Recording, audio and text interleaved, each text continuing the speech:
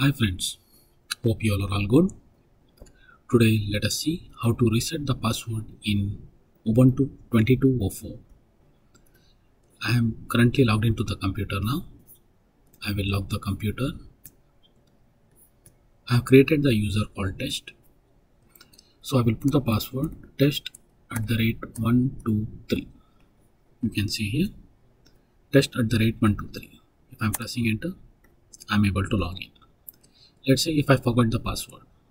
So to reset the password, we will reset the machine, restart.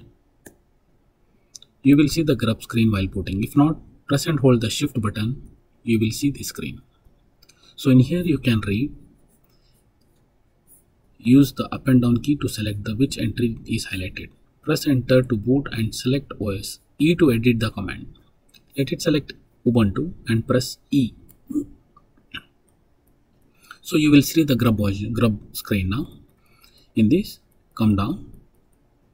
You can see this linux line here. Linux boot vm list 5.15 something. So come to the bottom of this line. So you can see this rw quiet splash dollar vt and off. So delete this line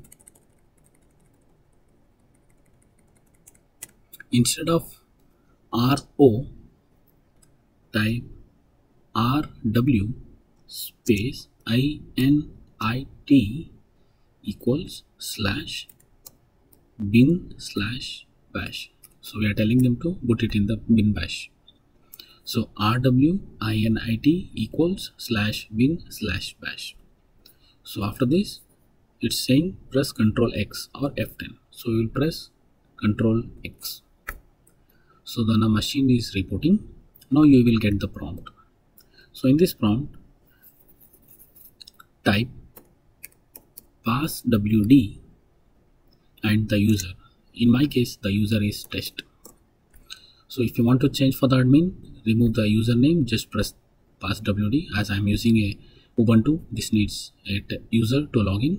So i'm putting pass wd test as my username. Hit enter now it's asking for the password. Let's say we will put the password. Ubuntu at the rate 123 hit enter. It's asking for retype. Ubuntu at the rate 123 hit enter. Now it says password updated successfully. So you need to reboot the machine now. To do that type exec space slash s bin slash init so this is the command to reboot. Hit enter. So the machine is getting rebooted now. So it's uh, we are able to see the login screen. Hit test. Before we used to we gave the password as test at the rate 123 now we have reset the password for the test user. Now we will type ubuntu at the rate 123 you can see the password here ubuntu at the rate 123 let's see we'll hit, hit enter. Let's see the password got changed or not. Hit enter.